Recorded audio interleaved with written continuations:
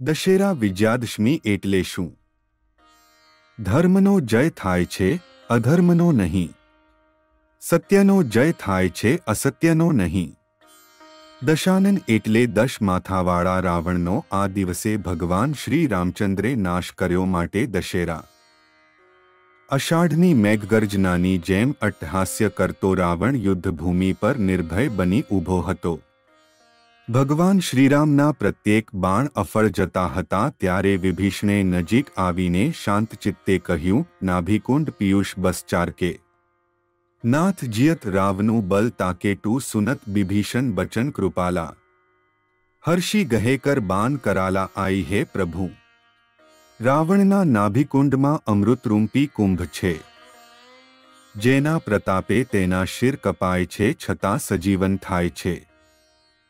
જ્યાં સુધી અમૃતરૂપી કુંભ ફૂટી નહીં જાય, ત્યાં સુધી રાવણ અમર રહેશે વિભીષણની વિસ્મયભરી વાત સાંભળી ભગવાન શ્રી રામચંદ્રજીએ રાવણના નાભિકુંડ પર દ્રષ્ટિ કરી અટ્ઠહાસ્ય કરતો રાવણ શ્રી રામચંદ્રજીને લલકારી રહ્યો હતો ત્યારે ભગવાને બ્રહ્માસ્ત્રને ધનુષ્ય પર ચઢાવ્યું.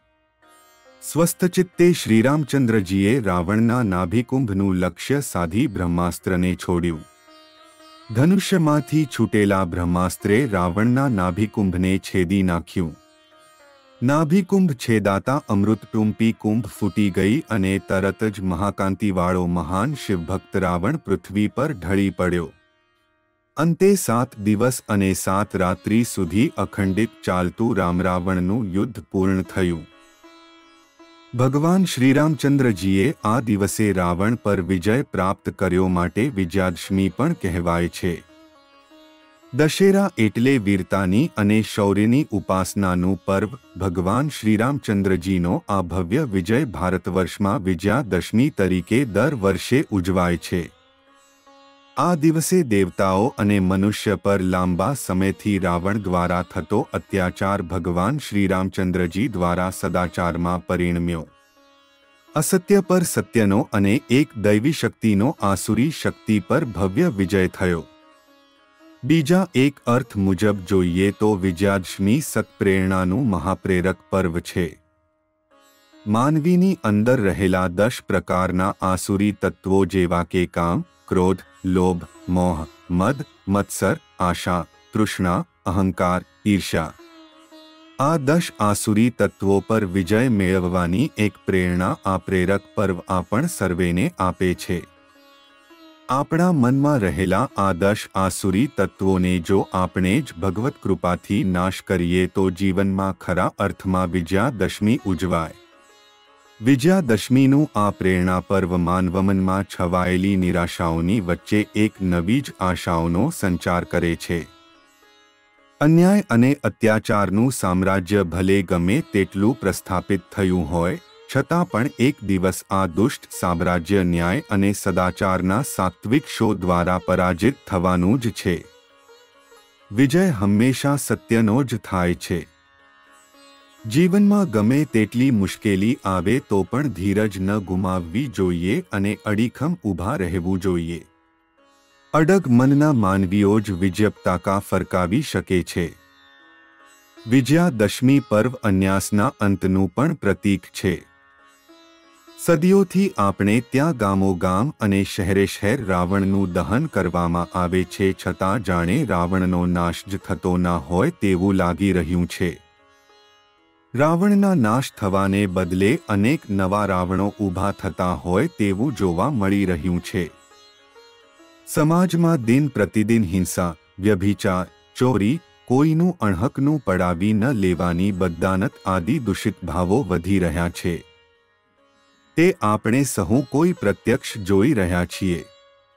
આ એ ભારત છે જ્યાંમાં સીતાના પાલવનો વિકૃત સ્પર્શ કર્યો. એ રાવણના દર્શ દશ માથાને કાપીને માટીમાં રગદોડી દેવામાં આવ્યા હતા અને દ્રૌપદીની લાજ લૂંટવાનો પ્રયત્ન કરનાર દુઃશાસનનો હાથ ઉખાડીને ફગાવી દેવામાં આવ્યો હતો.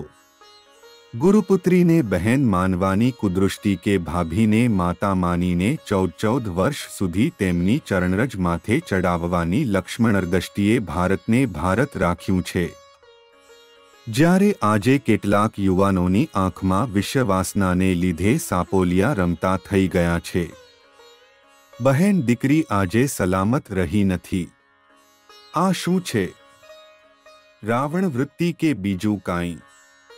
દશેરાના દિવસે રાવણ આપણામાં તો થોડા ઘણા અંશે વસી રહ્યો નથી ને તેની તપાસ કરવાની જરૂર છે. પહેલા તો વિશ્રવાનો પુત્ર દશ માથાવાળો એક જ રાવણ હતો.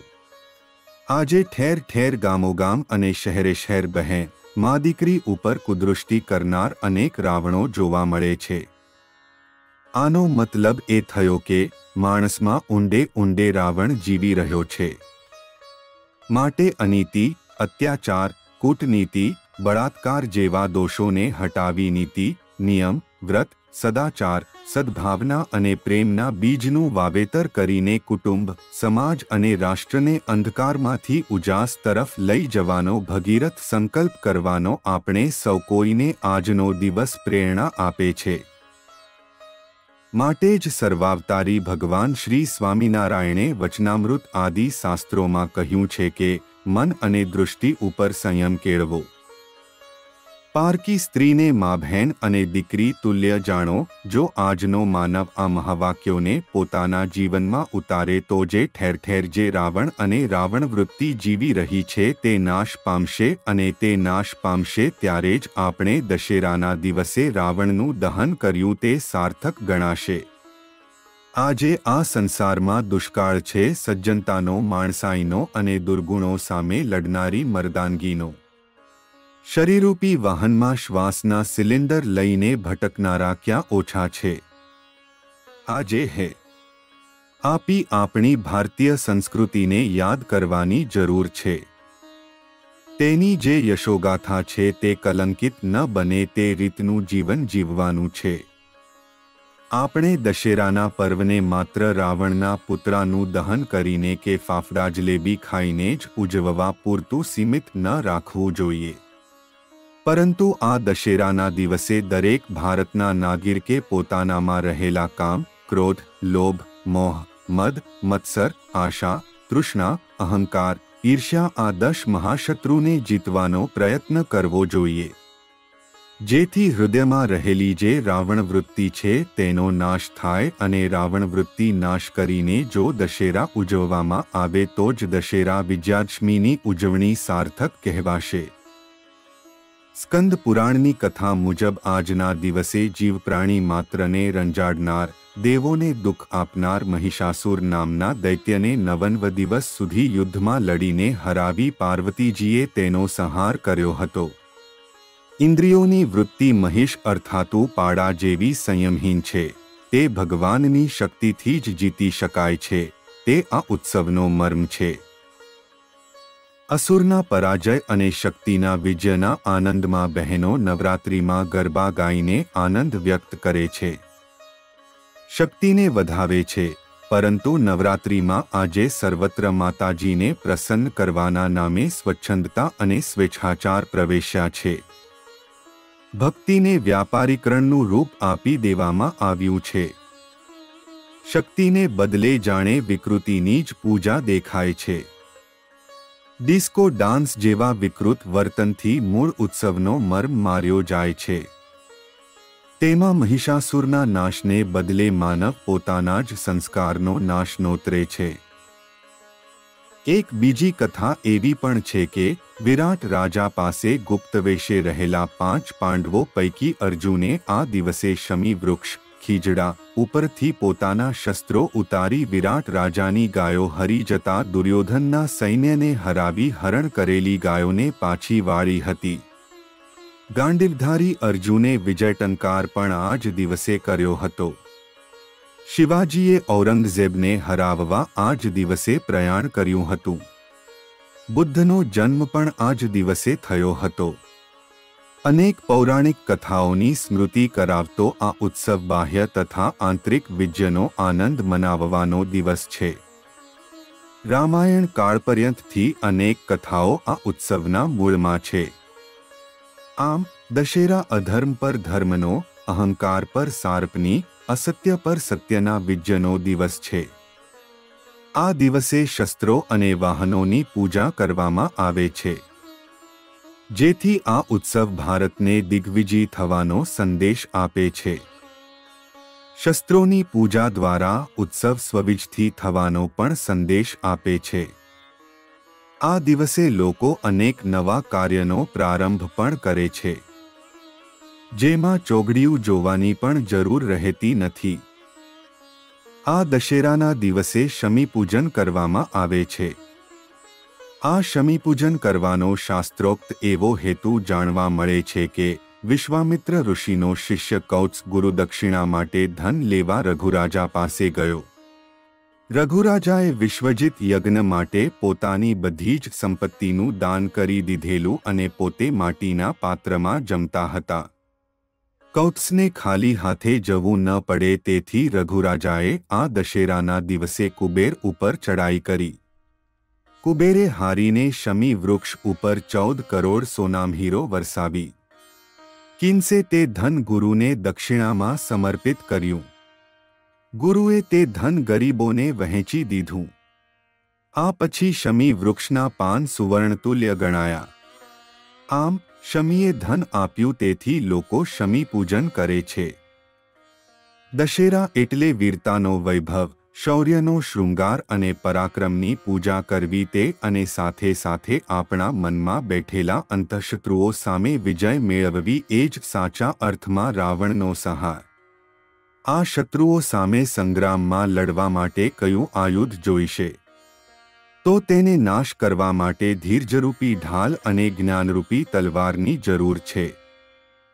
ધીરજ અને જ્ઞાને કરી સંકલ્પ વિકલ્પ રૂપી ઘાટ સંકલ્પોનો નાશ કરીને ભગવાનનું અખંડ ભજન થાય તો કોઈ દોષ આપણને પરાભવ ન કરી શકે અને જો ભગવાનના સ્વરૂપમાં આપણી વૃત્તિ રહે અને અનહદ અપાર સુખની પ્રાપ્તિ થાય ત્યારે જ આપણો વિજય થયો કહેવાય. ભગવાન શ્રી સ્વામિનારાયણે આ દશેરા પર્વને ઉજવી અનેક લીલાચરિત્રો કરી ભક્તજનોને સુખ આપ્યું હતું. આ દિવસે અશ્વદોડની સ્પર્ધાઓ પણ ભગવાન શ્રીહરિ કાઠી ભક્તો સાથે કરી અશ્વારોહણ લીલાની સ્મૃતિ પોતાના ભક્તોને આપતા હતા. માનવીની સાહજિક ભાવના છે કે દરેક ક્ષેત્રમાં મારો વિજય થા, આવી વિજયની ભાવના સૃષ્ટિ જેટલી પુરાણી છે. માણસ ગુફામાં રહેતો ત્યારથી જ તેણે કોઈને કોઈ પ્રકારના શસ્ત્રને જ વિજયનું સાધન માન્યું છે. માનવની વિજય માટેની ભાવના એ જ છે કે બીજાનો જેટલો વધુ વિનાશ કરી શકાય. એટલો જ આપણો વિજય થયો કહેવાય. પરંતુ આવા ભૌતિક વિજય પાછળ હંમેશા ભય રહેલો છે. અને જેને ભય છે, તે સાચો વિજય નથી. સિકંદર જેવા લાખો વિજેતાઓને મૃત્યુએ પરાજય આપ્યો છે. મહાસત્તાઓ પાસે માણસોને મારવાના બોમ્બ છે પણ મૃત્યુને મારનારો મૃત્યુજયી બોમ્બ નથી. વિજયના નશામાં હંમેશા વિલાસ વધે છે. યાદવા સ્થળી તેનું ઉદાહરણ હે. મરતા પહેલા માણસને વિશ્વવાસના મારી નાખે છે. પછી તો ખોખા જ મારવાના હોય છે. આજે કમ્પ્યુટર યુગમાં માનવ સમાજનો મહાન શત્રુ છે નવરાશ નવરું મન નખોદ વાળે તે ઉક્તિ અનુસાર નવરું મન વધુ વિલાસ માગે છે. અને મન સાથે લડવાનો કોઈ બોમ્બ આજનો આધુનિક માનવી શોધી શક્યો નથી. સાચો વિજેતા એ છે કે, જેણે મન ન જીત્યું તો કાંઈ જીત્યું નથી. પરંતુ એ મનને જીતવાનો આધ્યાત્મિક ઉપાય બતાવતા ભગવાન શ્રી સ્વામિનારાયણ સારંગપુર પ્રકરણના એક લાવચનામૃતમાં કહે છે, શબ્દ, સ્પર્શ, રૂપ, રસ અને ગંધ એ જે પંચવિષ્ય તેમાંથી જ્યારે ઇન્દ્રિયો પાછી હઠે અને કોઈ વિષય પામવાની ઈચ્છા રહે નહીં, ત્યારે સર્વે ઇન્દ્રિયો વશ થાય છે અને જ્યારે ઇન્દ્રિયો વિષયનો સ્પર્શ જ ન કરે ત્યારે મન પણ ઇન્દ્રિયો લગ્ન આવે નહીં અને હૈયામાં ને હૈયામાં રહે. એવી રીતે જેને પંચવિષ્યનો ત્યાગ અતિ દૃઢપણે કરીને થયો ત્યારે તેનું મન જીત્યું જાણવું. શ્રી શંકરાચાર્યજી પણ મણિરત્નમાલામાં કહે છે, ખિત ખાત ન મનોદીવે જેણે મન જીત્યું તેણે જગત જીત્યું. ગઢડા મધ્ય પ્રકરણના બાવીસમાં વચનામૃતમાં ભગવાન શ્રીહરિએ મનની સાથે લડાઈ વિગતે સમજાવી છે. આપણા મહાપુરુષોએ, ઋષિમુનિઓએ અને નંદસંતોએ અનેક ગ્રંથોમાં પણ મન ઉપર વિજય મેળવવાના અનંત ઉપાયો બતાવ્યા છે. મન જીતવાની વાત જેમ આધ્યાત્મિકતા તરફ નિર્દેશ કરે છે, તેમ મન જીતવાના ઉપાયો પણ ધર્મ પાસે જ છે. તેથી જડો ચાર્લ્સ સ્ટાઇનમેટ્સે રોજર બેબ્સનને કહ્યું હતું કે કોઈ દિવસ લોકો જોશે કે ભૌતિક વસ્તુઓ સુખ આપી શકતી નથી. ત્યાર પછીના દુનિયાના વૈજ્ઞાનિકો પોતાની પ્રયોગશાળાઓ, પરમાત્માની પ્રાર્થનાઓ અને આધ્યાત્મિક શક્તિઓ તરફ વાળશે, ત્યારે ચાર જમાનાનો વિકાસ એક જ જમાનામાં થઈ ગયો હશે. અર્જુનને ગાંડીવનું બળ નહીં, પણ ધર્મના ધારક ભગવાન શ્રીકૃષ્ણનું બળ હતું. શ્રીમદ ભગવદ્ ગીતા પણ કહે છે, પત્ર નીતિતિર્મમ. જ્યાં યોગેશ્વર શ્રીકૃષ્ણ છે અને જ્યાં ધનુર્ધારી અર્જુન છે, ત્યાં લક્ષ્મી વિજય છે. અને તેથી જ અર્જુને નારાયણી સેના ન માગતા ભગવાન શ્રીકૃષ્ણને માગ્યા હતા તો તેનો વિજય થયો. કેનોપનિષદ પણ કહે છે કે, દેવો ભગવાનનું બળ ભૂલી ગયા તો ભગવાને તેમને યક્ષનું રૂપ લઈને દેખાડ્યું કે તમારાથી તો એક સૂકું તણખલું પણ હલાવી શકાતું નથી. મહારથી ચર્ચિલે પણ બીજા વિશ્વયુદ્ધ વખતે હતાશ થઈ પ્રાર્થનાનો આશરો લીધો હતો.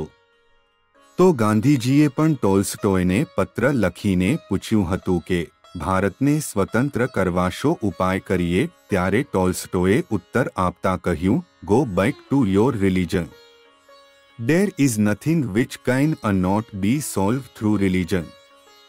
Religion is the force તમે તમારા ધર્મનું શરણું સ્વીકારો. દુનિયામાં એવી કોઈ સમસ્યા નથી કે જે ધર્મના માધ્યમથી હલ ન થઈ શકે. ધર્મ એ જ બળ છે.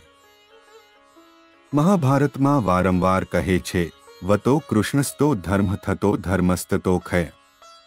જ્યાં ભગવાન શ્રી કૃષ્ણ છે ત્યાં ધર્મ છે અને જ્યાં ધર્મ છે, ત્યાં જય છે. મહાભારત, ભીષ્મ પર્વ છ એક ત્રણ શૂન્ય. અમેરિકા જેવો અતિ આધુનિક ટેકનોલોજી ધરાવતો દેશ પણ તેની ચલણી નોટ ઉપર લખે છે, ઇન ગોદવે ટ્રસ્ટ, અમે ભગવાનમાં માનીએ છીએ. અધર્મનો ક્યારેય જય થયો નથી. રાવણે પોતાના જીવનકાળ દરમિયાન કેટલાય અધર્મો કર્યા હતા. પોતાના માસિયાઈ ભાઈ એવા અલકાપુરીના રાજા કુબેરને હરાવી તેણે પુષ્પક વિમાન પડાવ્યું હતું. નળકુબેરની અપ્સરા રંભા ઉપર બળાત્કાર પણ કર્યો હતો. પોતાની પત્ની મંદોદરીને મૂકી પારકી સ્ત્રી સીતાજી ઉપર નજર બગાડી તેમનું અપહરણ કર્યું અને તેના પરિણામે રામરાવણનું યુદ્ધ થયું. રાવણ પાસે અભેદ્ય બેથ હતો. ભગવાન શ્રીરામ જમીન ઉપરથી જ લડતા હતા. વિભીષણે તેમને માટે બેથ લાવી આપવા કહ્યું ત્યારે શ્રીરામે કહ્યું કે, મારી પાસે અદ્દેશ્ય રથ છે. જેનું નામ છે ધર્મરથ. તેને સત્યસભર શૌર્ય અને ભગવનનિષ્ઠા નિર્ભર ધૈર્યના બે પૈડા છે. વિવેક, સંયમ, જ્ઞાન અને વૈરાગ્યરૂપી ચાર ઘોડા છે. સદાચાર આત્મનિષ્ઠા અને નિશ્ચયની ત્રણ લગામ છે. આવી અનેક સંપત્તિ મારી પાસે છે અને અંતે આ સંપત્તિ વડે ભગવાન શ્રીરામચંદ્રજીએ રાવણનો પરાજય કર્યો. રાવણ મન ઇન્દ્રિયોનો ગુલામ હતો તેથી શ્રીરામચંદ્રજીના હાથે માર્યો ગયો અને તેનું માથું મંદોદરીના ખોળામાં પડ્યું. ત્યારે મંદોદરીએ વિલાપ કરતા કરતા પણ સત્ય ઉચ્ચાર્યું કે કામ વિમુખ અસહાલ તુમ્હારા રહા ન કો કુલ રોવનહારા ચાણકે ચંદ્રગુપ્તને સમગ્ર શાસ્ત્રનો સાર એક જ વાક્યમાં કહ્યો વૃક્ષને દિશા મિનિસ્ટ્રીય ગઈ ઇન્દ્રિયો ઉપરનો વિજય મેળવવો એ જ સર્વશાસ્ત્રોનો ગલિતાર્થ છે ભગવાન શ્રી સ્વામિનારાયણે કરેલી લોકોના આમૂલ જીવન પરિવર્તનની અને ઇન્દ્રિય સંયમની નિઃશસ્ત્ર ક્રાંતિ જોઈ મુંબઈના ગવર્નર સર જ્હોન માલકમ અતિ પ્રભાવિત થયા હતા. તેમને અનુભવાયું હતું કે લોકો ઉપર રાજ્ય કરવા શસ્ત્રની જરૂર પડે, પરંતુ ભગવાન સ્વામિનારાયણની જેમ લોકોના હૃદય ઉપર રાજ્ય કરવા કરુણા અને દિવ્યતા જોઈએ. એક વખત શ્રીજી મહારાજે ગઢડામાં સંતો બ્રહ્મંસોને બેસાડ્યાને પ્રશ્ન કર્યો કે, રામાવતારની અંદર તો રાવણને માર્યો, સાગર ઉપર સેતુ બાંધ્યો અને અનેક અસુરોનો સંહાર કર્યો એટલે ભગવાન મર્યાદા પુરુષોત્તમ રામ કહેવાયા. શ્રી કૃષ્ણ ભગવાને પણ કંસનો નાશ કર્યો, ગોવર્ધન તોડ્યો અને મહાભારતના યુદ્ધમાં વિરાટ સ્વરૂપના દર્શન કરાવ્યા એટલે એમને ભગવાન કહેવાયા. મચ્છ કચ્છ, વરાહ, વામન આદિક અવતારોએ કાંઈક પરાક્રમ બતાવ્યા એટલે એમને ભગવાન તરીકે સંસાર માને છે. પરંતુ અમે તો આવું કાંઈ પરાક્રમ જ નથી કર્યું, તો પછી અમને તમે બધા ભગવાન શા માટે માનો છો? ત્યારે સંતોએ બે હાથ જોડીને બહુ સરસ ઉત્તર આપ્યો, હે મહારાજ! રામ અવતારમાં માત્ર રાવણ માર્યો, કૃષ્ણાવતારમાં એક કંસને માર્યો પરંતુ જે રાવણમાં રાવણત્વ હતું, જે અંતશત્રુના કારણે એ વ્યક્તિ રાવણ બન્યો હતો, કંસ બન્યો હતો, એ અંતશત્રુને કારણે જે આસુરી બીજ હતું તે નાશ થયું ન હતું. માત્ર રાવણ કે કંસ નામની વ્યક્તિનો નાશ કર્યો હતો, પણ તેમાં રહેલ રાવણ કે કંસ વૃત્તિનો નાશ કર્યો ન હતો. પરંતુ આપે અત્યારે પ્રત્યક્ષ પધારી એવા આસુરી બીજનો નાશ કર્યો છે. કામ ક્રોધ, લોભ, મોહ, માયા, મત્સર, ઈર્ષ્યા, તૃષ્ણા વગેરે દોષોનો નાશ કરી જીવાત્માને તમે મોક્ષના અધિકારી બનાવ્યા છે. માટે અમે તમને રાવપ્રી માનીએ છીએ. માટે જ વાસના ઉપર વિજય મેળવવા માટે પંચવર્ગમાં નિયુક્ત સાચા બ્રહ્મનિષ્ઠ સંતોનો સમાગમ જ કલ્યાણકારી નીવડે છે. અને એવો સંત સમાગમ જ કળિયુગમાં અતિ આવશ્યક છે. જય શ્રી રામ જય શ્રી સ્વામિનારાયણ.